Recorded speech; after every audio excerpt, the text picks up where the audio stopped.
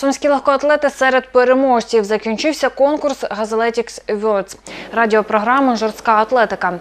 У номінації Відчайдушний експеримент року переміг Євген Гуцал, нині представник Волинської області. Мабуть, якщо дійсно е, вдалося перемогти, то мабуть це дійсно було справедливо. Е, Це не мені судити, але ну, взагалі це така дійсно номінальна нагорода, але приємно, що е, сам факт зміни дистанції, нового такого етапу в моїй кар'єрі не залишився непоміченим. Відкрив для себе багато нового, е, перейшовши на 800 метрів, і ще потрібно більш тактично бути готовим, тому що, наприклад, саме тактичні помилки мені коштували потрапляння до фіналу Всесвітньої універсіади, коли я нібито був готовий, але тактично програв.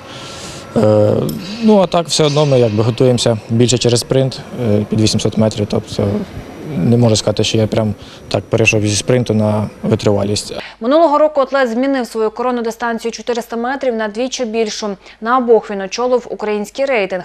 У номінації Стабільна стабільність перемогу отримала уродженка Сумщини Анна Плотіцина. Вона постійний лідер в Україні на коротких бар'єрах.